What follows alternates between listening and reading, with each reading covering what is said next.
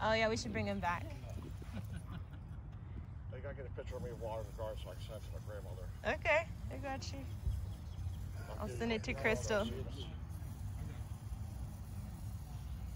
You're not playing?